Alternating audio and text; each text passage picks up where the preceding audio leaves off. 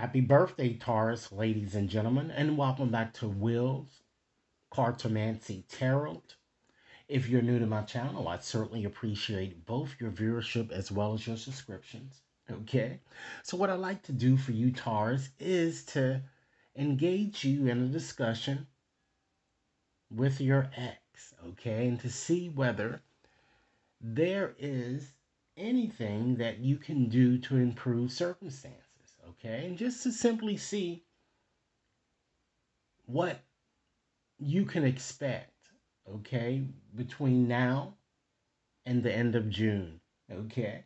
Rest assured, ladies and gentlemen, that this reading, as with any other reading, simply will not and may not resonate with each and every one of you out there. But for those for whom this reading is meant, I certainly hope it offers you the valuable information that you're seeking so that you can make your best decision when it comes to this ex. Okay? So, with that said, I've decided to use my zombie tarot deck today in order to illustrate your reading. And we're going to start off by just sharing with you what I'm seeing as the overarching theme pervading your reading. Then I'm going to discuss with you the situation that I'm seeing that's that you're facing and to share with you the challenges associated with that situation should you wish to return to this ex.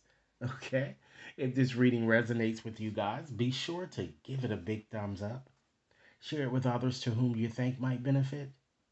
And be sure to press that subscription button so that you receive all future readings okay? So let's go on and just shuffle up and see. Spirit, the situation is Taurus's relationship with the ex, or perhaps lack thereof. let's see what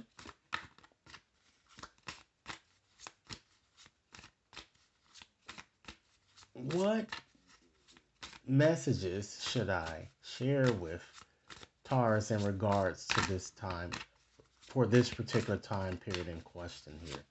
So, what messages, Spirit, would you like for me to share with Taurus for this specific time period in question?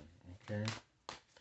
Taurus, I'm going to first, as I said, I'm going to select a few cards um, from the bottom of the deck here so I can just give you some indication of what the overarching energy might be in your situation here. So let's go on and just select a few cards. We have the Seven of Cups here. Okay. We also have the Tower. Wow. Okay. And last but not least, we have the Emperor. Okay, let me just set these down here. All right. So let's just first let's just do a reading, just looking at the numbers here. We have the number seven, okay. And then we have this tower here, which, which breaks down to number eight, okay. Because one plus six, actually it's seven here. So it's both sevens, okay. But it's, and then we have the number four here. So it's certainly suggesting to you that choices need to be made here, okay? And in order for you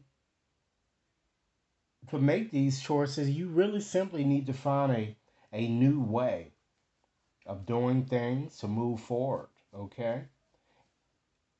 And by doing so, this would help you establish the stability and structure that you seek, but you must be realistic, okay, to produce tangible results here because you have this, you have that seven of cups there, ladies and gentlemen, and that's a cup that's, I mean, a card that makes one, it makes it hard for a person to see the forest from the trees, if you will, okay. So what I'm saying here, just to just you know give you more specifics here, we see that your focus card, ladies and gentlemen, is the Tower, okay? So this card urges you to detach yourself from a very toxic type situation, you know, with this ex, because it seems that this ex was involved in a lot of different types of things that you that's I feel that is contrary to many of your beliefs here I'm getting. Especially you high vibes out there. Okay? But I'm seeing that because you have that tower, it certainly brings about a dramatic change. One that will cause you to have a painful re- revelation about your ex here. Okay?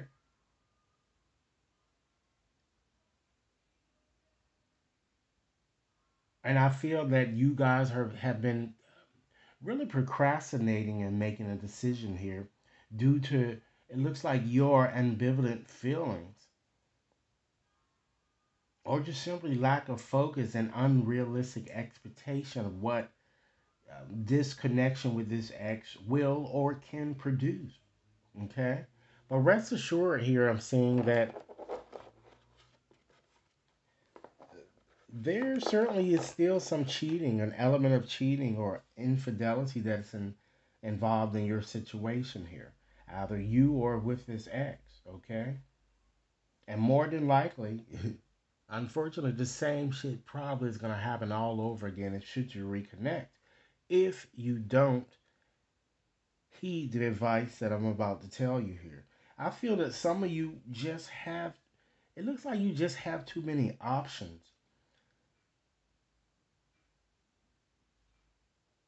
And really going back to just testing the waters might not even be worthwhile for some of you because i'm feeling that i feel that this ex is a tyrant at best a very competitive very direct egotistical type forceful type person who really wants to be in control. And this person seems to have a major influence over you in some way i'm getting okay? This ex seems to be someone who appears to to have a, a powerful effect over you, as I said, and this person might even have a high position, and which is why you might feel the way that you feel about this person. Okay, so we have fire signs, we have water signs here that's connected here with your bottom energy. All right. Rest assured, though, that this person is certainly returning, but I just feel that some type of a secret wants to be shared or it's going to come out. Okay? But if you want to improve things, okay, you're going to have to let go of the past. All right? So why don't we go on and just, uh, and, and really surrender uh, unrealistic expectations here I'm feeling here. So let's go on and just get right into your reading, ladies and gentlemen, and just select so select the few cards from the top of the deck just to kind of get more in tune with your situation and what challenges might be associated with your situation. So let's pull two more cards. We have the Chariot. Okay. It's a very good card, right? And then we have, wow, the Empress. Okay. So the chariot is, is associated once again with water signs, Cancer, Pisces, and Scorpio. So I feel that, you know, it looks like that your problems seem to be major, okay? And destiny seems to be running its course with you guys. But I feel that part of the problem with your situation may be an ingrained insist- insistence, if you will, on perhaps constantly being independent and this might be something you are doing or something your ex wants, or this is what how he or she wants to be represented in your situation here. And keep in mind, Taurus, if this reading is resonating, be sure to give it a big thumbs up. Share it with others to whom you think might benefit, and be sure to press that subscription button, okay? So, I feel that despite what might be happening However, your situation also seems to incite, ladies and gentlemen, a battle of wills, if you will. Either you or perhaps your ex seem to have a strong internal desire to resolve things. As equally interesting, I'm seeing here, we have the chariot. Okay? and this represent your situation here. So this card tells us, quite frankly, who will be in the boss position and to what extent that that person will be the boss. This appears to be an important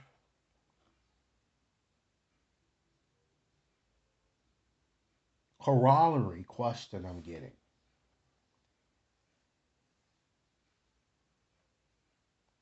Particularly to what we've indicated from the onset here, okay? Taurus, understand here that I'm, I'm kind of picking up strongly that you certainly do have the discipline that's required to make this informed decision. And your challenge seems to be, ladies and gentlemen, because you have this Empress here, it is to recognize, okay, that while it may seem you are in a stalemated situation, okay,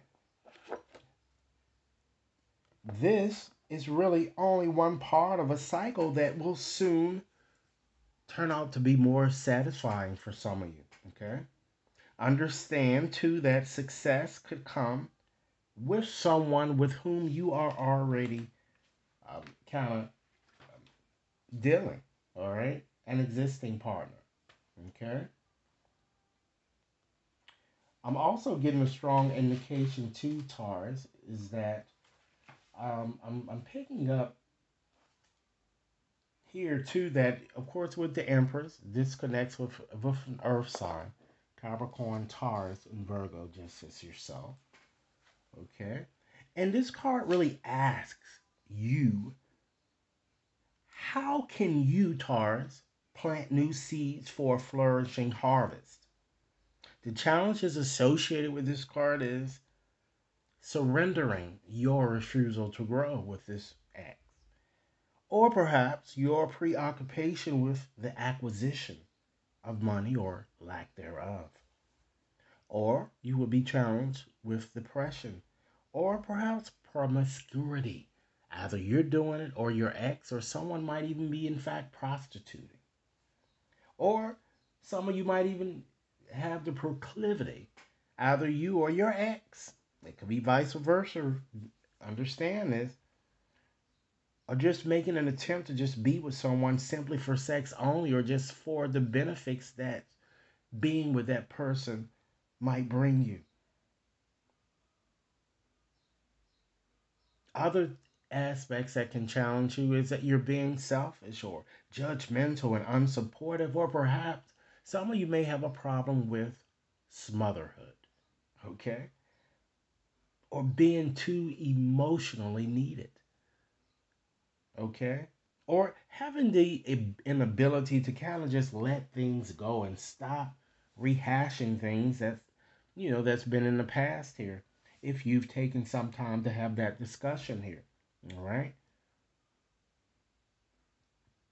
And although there might be delays along the way, um, I feel that if the two of you really want this to work, it can. But you have to understand, ladies and gentlemen, that you have, once again, the Seven of Cups here. You have to change your way of viewing things. Perhaps see things from maybe a more childlike point of view here. Surrender all of these different options that you have. That's why you're so scattered. Okay? The problem is your vision for what you really kind of want or hoping this relationship to produce. I'm kind of getting. Again, I'm kind of feeling, many of you are a bit scattered. Um, and, and you just seem to be a bit torn between too many directions, which means there may be several acts that might come into view. But rest assured, they all seem to be very controlling, I'm getting. And some might be heavily influenced by drugs or even alcohol. Okay, so it's really time for you, Taurus, to really sort out your feelings and make a realistic decision. Try to contemplate what's really best for you here. Okay, and with doing so, you're going to have to let go of, you know, unrealistic expectations here. Okay because there could be false promises made along the way with this ex. All right? And some of you, once again, might want this relationship simply as a matter of convenience, or the ex might want to return to you because you provide, you're a provider, perhaps. All right? So why don't I do this? I'm gonna go on and just take out my magic tablets of 20 of 200 letters here. Because it, because you have so many X's that I'm, I see here that might be coming back towards you, there are always one, or there might be all of them, based on this reading that you might want to, around whom you might want to be a bit more vigilant. Okay, so let's select those 20 letters to at least help you, Taurus, unmask these people around whom you just want to be a bit more cautious, okay? Or if you do get back with this person, you might not want to let your heart go too much. All right, so let's see. 20 letters, Spirit, to 20 letters for Taurus, okay? Give me 20 letters. And Taurus, keep in mind if this reading resonates for you, be sure to give it a big thumbs up.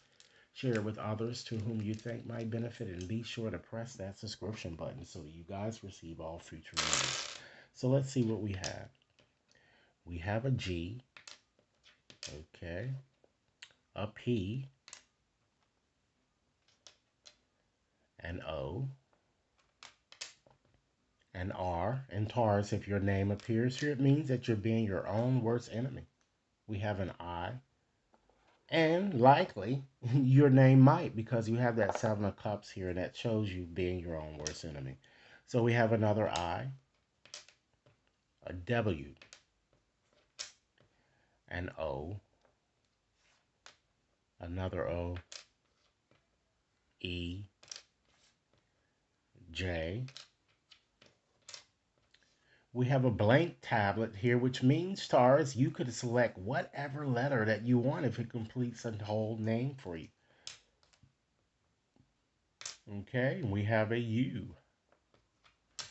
We also have a D and we have an I. So I'm going to count these just to see how many we have so far. 2, 4, 6, 8, 10, 12, 14, 15. So Spirit, we need five more letters. Give us five more letters for Taurus. And Taurus, I certainly hope that you guys are enjoying your birthday period. I know it just started, but I do hope that you have plans already scheduled Okay. Let's give you these five more letters. We have an S, an L, a T, a K, and the last letter, Taurus, we have an R. So I'm going to call these back to you just to make sure that each and every one of you has these. It could spell out a nickname or just a name, Taurus, that can at least help you unmask who these snakes might be. Let's see. You know, we have the blank letter here. And we have three O's. Okay. There are three I's. Okay. One K, one D. There are two R's, a G. We have an E, a W, a U, an S, P, J, T, as well as an L Taurus. All right. So I'm going to go on and just take out another deck here just to give you some indication, Taurus, of things that you might want to consider surrendering and transforming moving forward. I'm, and, and I can't emphasize this enough. Some of the things that I may have already said may come out again in these cards. So I'm going to give you five more messages here from this deck to give you some indication of other areas or other things that you might want to consider surrendering as you transform this experience with your ex. Okay, so let's see here. Let's select five messages from this deck here. Give me five messages for Taurus. Five messages. All right, let's see what we have. It's time that you surrender to creativity. I can't stress it any more than what I have already done. So you need to find new ways of doing things. Let your imagination soar. Stay open to all creative ideas about how to pursue a dream or even to solve this problem that's been plaguing you with this ex. Next message. It's time that you surrender to your full power. Just as you see this lion here in this picture here, or, or the symbolism here, he's very courageous. Understand that your life is calling for you to step into your full power rather than continuing to play it small. Next message surrender to play. It's time that you take a break from overthinking a goal or perhaps even a situation with your ex. Do something fun. Understand that play is certainly a time of recreation as well as rejuvenation. Next message. Surrender your fear of change. That's very important. Take a ride on this horse here. Understand that the universe is certainly reminding you, Taurus, that you are cared for always. Whether you're afraid of change in your job or afraid of change in your health, or of course, with this situation with your ex, repeat the affirmation I have faith that all is well. And last message with these cards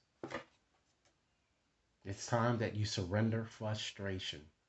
Understand that frustration does not open any doors. The key to resolving a dilemma or, in fact, dissolving a block is to take a breath.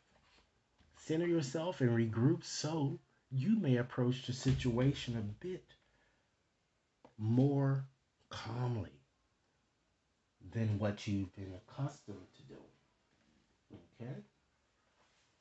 So now, Taurus, in conclusion today, I like to just leave you with a message here, and I'm gonna get up and get my box of my other oracle cards here. Just one second.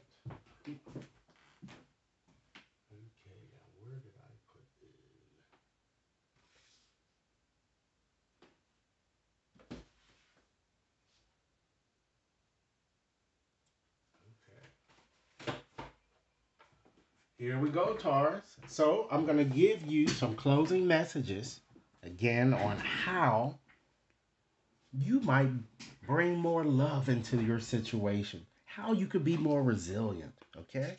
And how you can offer a bit more kindness than what you've been associated, uh, accustomed to doing. So I'm going to go on and just shuffle up here. Spirit, give me four more closing messages to share with Taurus. And Taurus, again, this reading is valid until the end of June. Be sure to give it a big thumbs up, share it with others to whom you think might benefit, and be sure to press that subscription button, okay? So, Spirit, give me four closing messages here for Taurus today. Okay, let's see. You are never stuck, Taurus. Even if you think you are, with this seven here, not being able to, to that seven of cups that you had in your reading, haven't an inability to really see the forest from the trees. This message today is telling you that even when you think you're stuck, you're actually connected to a highly dynamic world. Everything in the universe is continually shifting in response to everything else in the universe. You are always changing.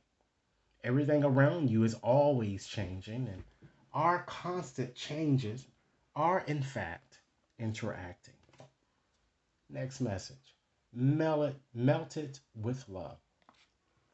See people in the events of today with a loving gaze, which is to say, melt your doubts with the benefit of love. Next message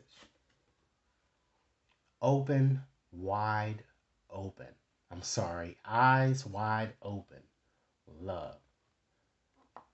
You don't need to know how you're going to solve the problem with this ex Taurus, but facing it with an open mind is how we navigate with presence.